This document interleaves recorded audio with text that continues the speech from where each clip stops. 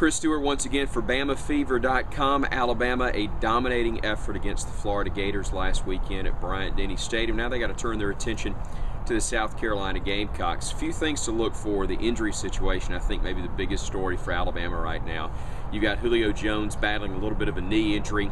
Hopefully, he'll be healed up by this weekend. But we've all seen how he's been so much more effective as a player without injury. I know that sounds simple, that's the way it is for everybody, but this is truly one of the most dominant players in all of college football when he's at 100%.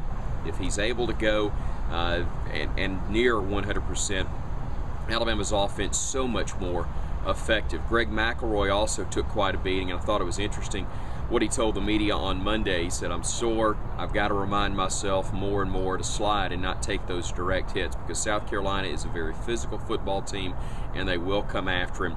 Uh, and it's going to be interesting to see if he can get, again, close to 100% as well before the tide of the Gamecocks square off.